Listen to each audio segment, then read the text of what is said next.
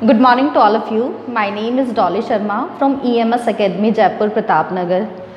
Today we are going to talk about topic excretory product and their elimination. So first of all, we have to understand what is the meaning of excretion.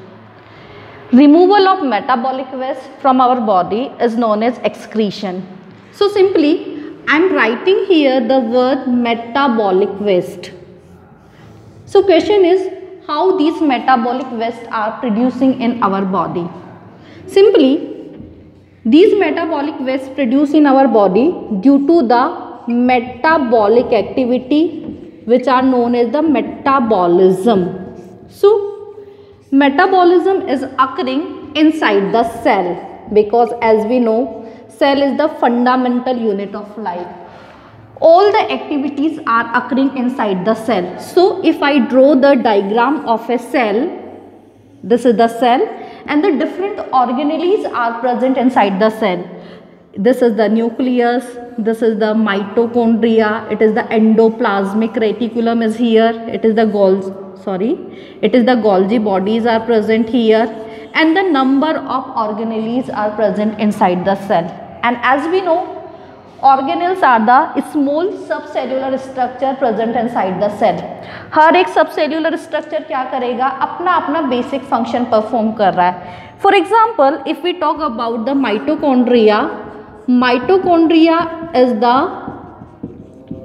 powerhouse of the cell because it is forming the ATP so question is how ATP formed inside the mitochondria we are simply taking the oxygen this oxygen is going inside the cell inside the cell this oxygen is breaking the glucose by the breakdown of the glucose energy is releasing in the form of ATP so ATP के form होने के साथ साथ में यहाँ पर हम देखेंगे कि कार्बन डाइऑक्साइड का प्रोडक्शन भी हुआ है और वाटर का फॉर्मेशन भी हुआ है which is the metabolic metabolic water so these are the waste product in our body ATP is required to perform the different function but carbon dioxide and the metabolic water should be removed from our body.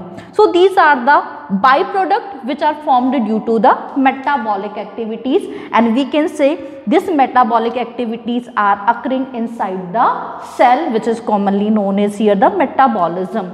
So metabolism can be of two type. It can be the catabolism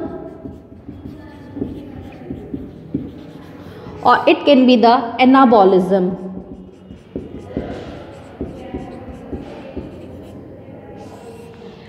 Catabolism का मतलब है break down reaction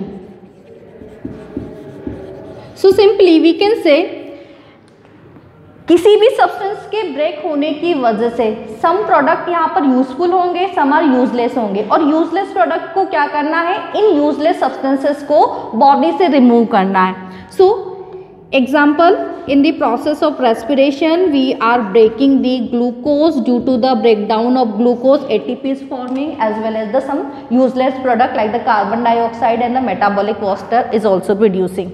But if we talk about the anabolism, it is the constructive type of reaction. constructive type of reaction अभी constructive type of reaction से क्या मतलब है simply किसी substances का फॉर्मेशन हो रहा है। लाइक like, छोटे छोटे अमीनो एसिड्स मिलके प्रोटीन का फॉर्मेशन कर रहे हैं या कार्बोहाइड्रेट का फॉर्मेशन हो रहा है या फैट का फॉर्मेशन हो रहा है यहाँ पर तो it is the type of anabolism constructive type of reaction plant के अंदर कार्बन डाइऑक्साइड और वाटर को यूज़ करके प्लांट सनलाइट और क्लोरोफिल की प्रेजेंस में कार्बोहाइड्रेट का फॉर्मेशन कर रहे हैं। तो it is the constructive type of reaction here so we can say इन सभी रिएक्शंस के साथ में कुछ न कुछ एक्स्ट्रा प्रोडक्ट भी बन रहे हैं मेन प्रोडक्ट के साथ में। तो जो बाई प्रोडक्ट बन रहे हैं, उन एक्स्ट्रा प्रोडक्ट्स को क्या करना है? बॉडी से यहाँ पर रिमूव करना है। तो that is the simply process metabolism metabolism की वजह से यहाँ पर क्या होंगे? मेटाबॉलिक वेस्ट यहाँ पर प्रोड्यूस होंगे। अब ये जो मेटाबॉलिक वेस्ट हैं ये मेटाबॉलिक वेस्ट जो होते हैं ये कार्बोहाइड्रेट के ब्रेकडाउन से भी फॉर्म्ड हो सकते हैं और ये प्रोटीन के ब्रेकडाउन से भी यहाँ पर क्या हो सकते हैं फॉर्म हो सकते हैं। सो so, प्रोटीन के ब्रेकडाउन से जो नाइट जो प्रोडक्ट फॉर्म्ड होंगे जो यूजलेस प्रोडक्ट फॉर्म होंगे which is the nitrogenous waste अब नाइट्रोजिनस वेस्ट को रिमूव करना बॉडी से ज़्यादा ज़रूरी क्यों हो जाता है? हालाँकि जो प्रोडक्ट बाई प्रोडक्ट इसके ब्रेकडाउन से बन रहे, वो भी बॉडी से रिमूव होने नाइट्रोजनस सब्सटेंसेस को भी बॉडी से रिमूव होना है। पर नाइट्रोजनस सब्सटेंसेस क्या है? बॉडी के लिए मोर टॉक्सिक है. Because these all the substances are producing inside the cell ये सारे सब्सटेंसेस कहाँ पर प्रोड्यूस हो रहे हैं? सेल के अंदर प्रोड्यूस हो रहे हैं. तो सेल के अंदर क्या है? डिफरेंट ऑर्गेनलीज प्रेजेंट है. तो इन डिफरेंट ऑर्गेनलीज को नॉर्मल फ़ंक्शन करने में इंटरफेयर करेंगे ये नाइट्रोजनस सब्सटेंसेस तो क्या करना है? इन सब्सटेंसेस को यहाँ पर रिमूव करना है. So we can say simply removal of metabolic waste from our body और we can write here nitrogenous waste from our body is known as the excretion तो ये प्रोसेस यहाँ पर एक्सक्रीशन कहलाएगी.